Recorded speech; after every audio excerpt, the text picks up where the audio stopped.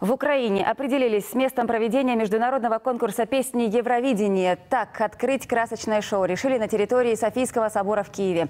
Это часть национального заповедника София Киевская. И как храм уже не действует. Напомним, Украина победила на предыдущем Евровидении в Швеции с песней «Джамалы» 1944.